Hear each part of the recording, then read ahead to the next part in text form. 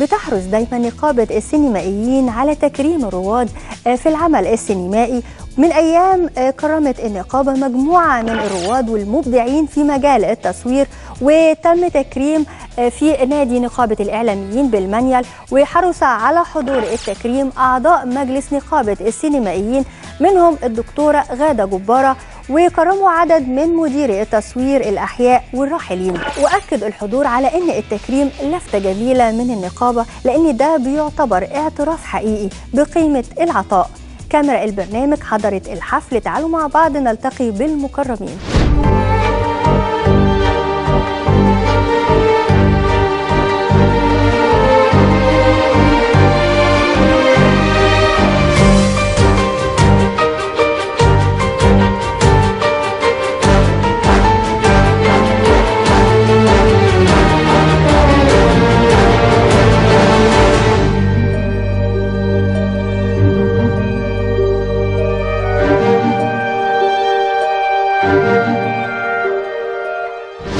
التكريم ده شيء مش أساسا للحب.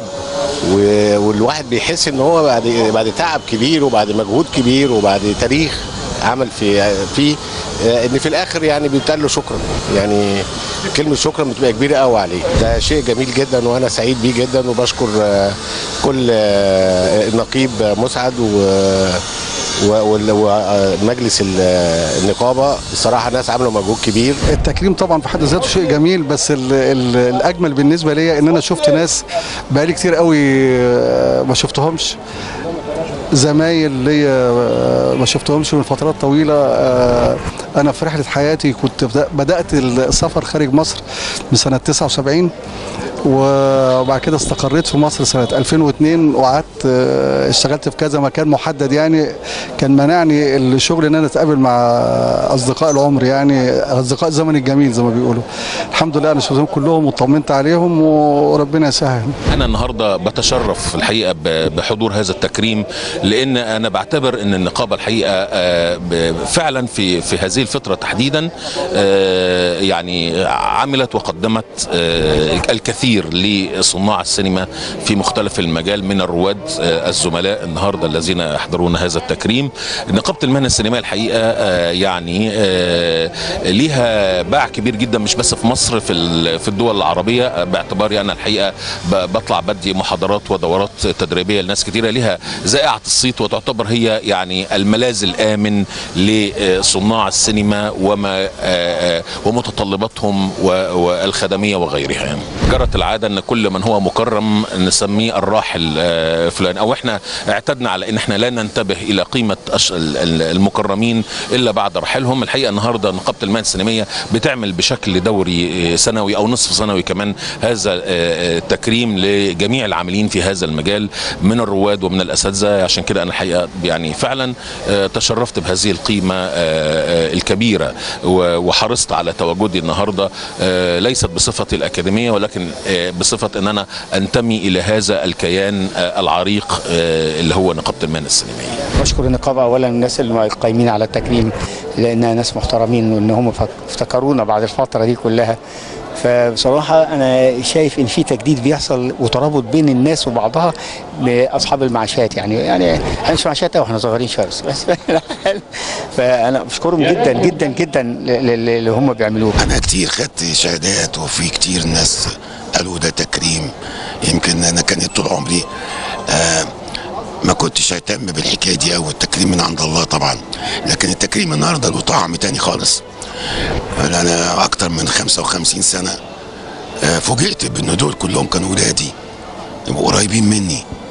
وكان الحب اللي موجود هو ده كان التكريم.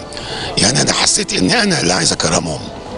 فالحقيقة النهارده كان تبادل المشاعر أعلى بكتير من أي حاجة. وخاصة في ناس كتير ما كنت شفتهم من زمان وبقوا في مناصب هايلة وممتازين جدا. فأنا بالعكس سعيد جدا بالتكريم وبالمقابلة بتاعت النهاردة مع كل الناس. سعيد جدا إن الوفاء دايما موجود وتم التكريم من نقابة السينمائيين الاستاذ مسعد فودة وهو رجل فاضل وأخ. آه، تم التكريم لينا النهارده على طبعا آه، إحنا بالنسبة لنا نعتبر أنا شغال من 77 في التلفزيون المصري. وطلعت على المعاش من سنتين.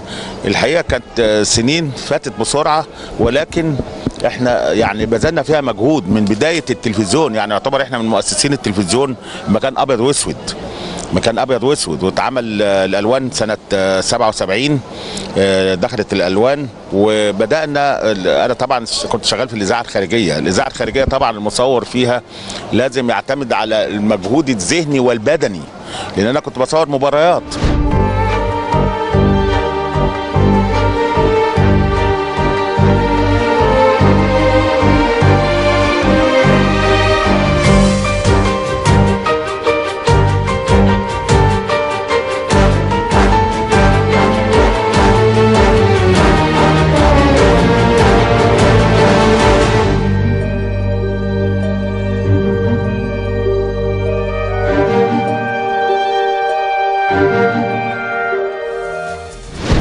مكملين معاكم في حفل التكريم اللي أقامته نقابة السينمائيين واللي اعتبروه كتير من الرواد شيء إيجابي وعبروا عن سعادتهم وقالوا إن التكريم بيحسس دايما المبدع إنه لسه موجود على قيد الحياة. الشيء اللافت للنظر في الحفل إن التكريم ما كانش قاصر على الراحلين لكن كمان الأحياء اللي ليهم بصمات واضحة. في مجال التصوير تعالوا مع بعض نلتقي بغادة جبارة وعصمت يحيى وعمر جعفر. هو الحقيقة إحنا بقالنا فترة آه، دي بقت عادة وبقى تقليد الحقيقة بيتعمل على طول مش مش تقليد سنوي ولكن ممكن مثلا ممكن كل شهرين بنعمل احتفالية نكرم فيها ال- الرواد. والحقيقة مش الرواد بس بتوع التصوير ولكن آه، رواد في كافة العناصر السينمائية زي الإخراج والسيناريو وكرمنا المونتاج وكرمنا آه، الرسوم المتحركة والديكور وكده. إحنا اخذنا على عاتقنا فكرة إنه ليه إحنا بنكرم دايما المبدع بعد ما يتوفى أو بعد ما بيرحل عن عالمنا آه، يعني ليه إحنا مش بنعمل له التكريم ده وهو موجود معانا عشان يفرح بالتكريم ويحس ان له آه، قيمة وإنه آه، الآخرين لحد النهارده فاكرينه وبيقدروه. فإحنا قررنا إن إحنا نعمل تكريمات متتالية والنقابة الحقيقة مع جماعة الرواد قررت إنها تعمل ده بشكل دوري على طول مستمر علشان تكرم فيها الرواد وتقول لهم شكرا على كل الإنجازات الكبيرة اللي قدموها لنا ودايما أنا بقول في كل حتة إن الرواد الأوائل دول الحقيقة نحتوا في الصخر. هم دول اللي قدروا آه، يقدموا لنا آه، ال- الأفلام والأعمال والبرامج آه، لما كانت التكنولوجيا غاية في الصعوبة. دلوقتي التكنولوجيا بقت أسهل وأخف إنما الأعمال بتاعتهم رغم الصعوبة اللي كانت فيها التكنولوجيا إلا إن هم قدموا لنا أعمال رائعة باقية لحد النهارده شكلت جزء من وجداننا سواء اللي بيشتغلوا في مجال التلفزيون أو اللي بيشتغلوا في مجال السينما. فإحنا قررنا إن يبقى في تكريم ليهم والنقابة طبعا تشارك باعتبارها هي الجهة المنوط بيها. آه، لأنه آه، زي ما قلت لحضرتك فكرة إن ال- ال- المبدع آه، يتكرم وهو في حياته ده شيء بي- بيحس بيه إن هو لسه عايش إن هو لسه له قيمة إن لسه في حد فاكره إن لسه في حد بيتواصل معاه وبيقدر مجهود اللي عمله قبل كده. تكريم هؤلاء الفنانين المبدعين ومنهم الأستاذ محمد رجاء عتيق والتاريخ الأستاذ عوني جعفر. الأستاذ محمود عبد السميع المخرج الكبير مخرج محسن أحمد إبراهيم السيد الفنان محمد السيسي محمود زهدي ملك منير كل دي أسماء سوف تكرم النهاردة ودول كان ليهم باع كبير جدا في التصوير والتلفزيون والإضاءة فيك يا جمهورية مصر العربية عندما كان التلفزيون المصري هو رائد الفنون. وبهذه المناسبة آه، هؤلاء الأساتذة اللي موجودين في هذا التكريم تلاميذهم هم الموجودين دلوقتي في جميع القنوات الفضائية سواء المصرية أو العربية خريجين من تلامذة هؤلاء الفنانين. هو الحقيقة التكريم ده إحنا بن- بنعمل تواصل مع ال- الأجيال الشباب وإحنا تبنينا فكرة ال ال التكريم عرضناها على السيد آه، والحقيقة أبدى استعداد آه، جميل وعملناها وابتدينا بال- بالرواد الأوائل اللي هم اثروا الحياة ال- التلفزيونية أو الشاشة يعني بمعنى صح من جيل الستينات. الموجود منهم آه، تواصلنا معاه وكرمناه واللي يعني آه، يعني غادر الحياة برضو عملنا له شيء من التكريم. والحقيقة عمل تواصل جميل جدا آه، بين الأجيال وبعضها وزي ما أنتم شايفين أهو روح جميلة جدا بتسود المجموعة. ونتمنى إنها آه، تسود أقام مؤخرا المكير المعروف محمد عشوب مؤتمر صحفي للجمعية المصرية الإفرو أسيوية للثقافة والفنون والآداب. أكد عشوب أن الجمعية كونها الفنان الراحل السيد راضي وجمعت أفضل كتاب ونقاد وفناني مصر الجمعية المصرية الأفرو آسيوية هي آه، جمعية عريقة لها تاريخها الطويل ولها سنينها الطويلة التي يعني آه، قام بإنشائها الأستاذ الدكتور الأستاذ الأديب والفنان الكبير الأستاذ سيد راضي وكانت تضم عظماء الأدب والفن في مصر آه، الدكتور آه، آه، الأستاذ محفوظ عبد الرحمن الأستاذ يسري الجندي الأستاذ عبد الحي أديب الأستاذ بشير الديك الأستاذ سعد جابر الأستاذ ممدوح فهمي مجموعة كثيرة الأستاذ منير راضي المخرج العظيم. كانت هناك مجموعة كبيرة في- هذه الجمعية. وعندما توفى الأستاذ سيد راضي رحمة الله عليه توليت أنا رئاسة هذه الجمعية وبدأت خطواتي أنا والأستاذ آه، ممدوح فهمي السيناريست الكبير وأمين عام الجمعية آه، الذي كان له الفضل في إبقاء هذه الجمعية على قيد الحياة يعني. آه، بدأنا في أول نشاط لينا وهو احتفالنا برموز ونجوم هذا الفن يعني زمن الفن الجميل آه، بتكريمهم وبتقديم التحية ليهم والتقدير ليهم آه، لأنهم طبعا يعني قدموا لنا الكثير والكثير والكثير. وإن الجمعية هتحاول تقديم نشاط ثقافي وفني مختلف ومفيد للعالم كله. قال كمان إنه هيبدأ التحضير لأول مهرجان فني ثقافي للجمعية. عندنا تحضير بقالنا أكثر من سنتين هو أكثر من أربع سنين يعني. بنحضر للجم... لأول مهرجان سينمائي مصري أفرو أسيوي على مستوى العالم. وده يمكن من أربع خمس سنين إن شاء الله في هذه الجمعية. وبدأنا خطواتنا والتقينا بالسيد وزير الثقافة أكثر من مرة الأستاذ حلمي حلمي النمنم.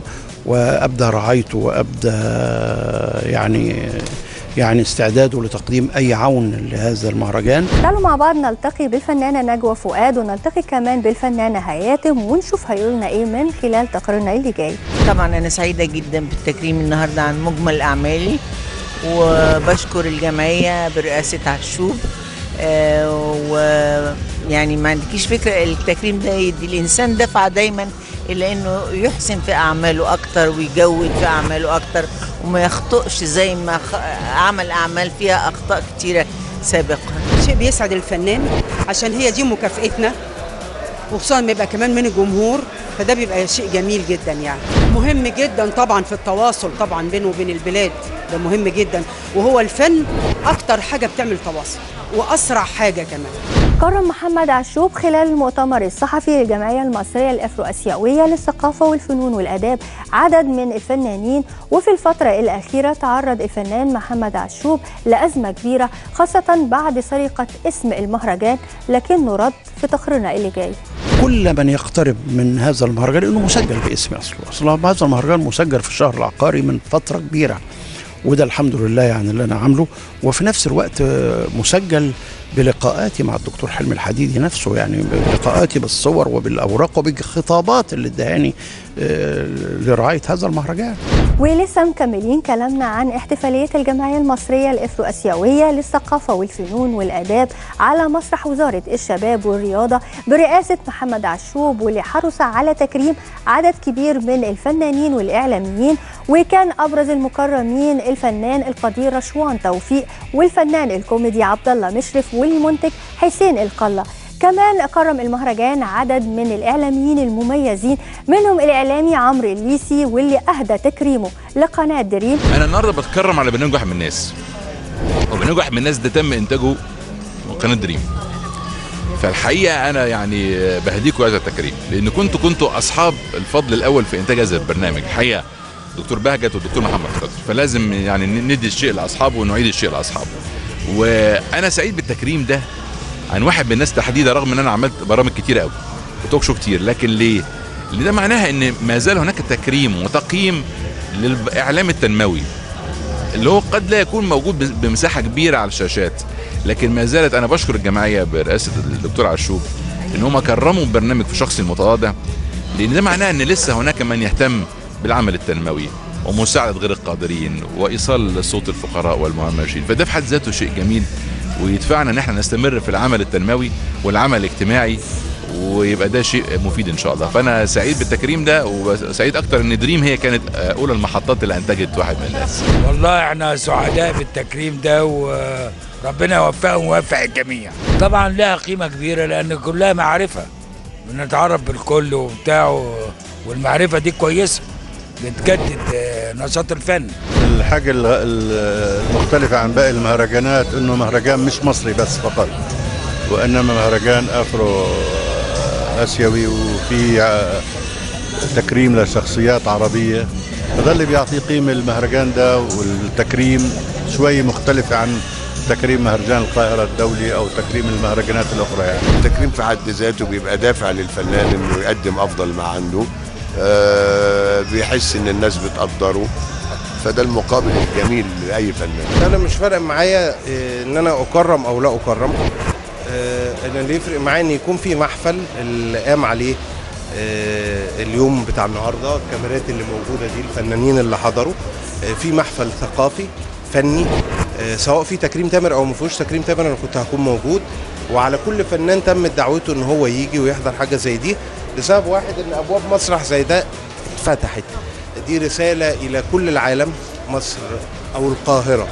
بتقيم محافل ثقافية بتقيم محافل فنية وتقهر كل إرهابي قذر يريد لها الدمار. خليني أقول لك إن أنا سعيد جدا بهذا التكريم اولا. لما يجي من مؤسسة آه، افرو اسيويه وأول فعالية للتكريمات من هذه المؤسسة أكون مدرج في كشف التكريمات. فده مهم جدا بالنسبة لي في المشوار الفني فأنا سعيد بده. آه، مهمتها بقى في, في, في التواصل بالأفرو آسيوية وفي الوطن العربي بشكل عام. ده شيء حاصل إن شاء الله وأتمنى إنه يستمر بإذن الله. فهذا التكريم من هذه المؤسسة اللي بتمنى من كل قلب إنها فعلا تستمر في عطائها. آه، ده مهم جدا بالنسبة لي.